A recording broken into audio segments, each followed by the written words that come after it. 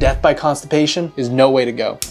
Being full of poop isn't just uncomfortable. It can actually cause emergencies that could lead to surgery and severe infections that can take your life. In fact, a few years ago, I was on History Channel's hit survival series Alone, and I hadn't pooped for 16 days. So here are three tips that could literally save your butt. Number one, hydration. Your stool needs a wet slip and slide to come out. So if your pee isn't pale yellow, you might need to drink more. Number two, fiber.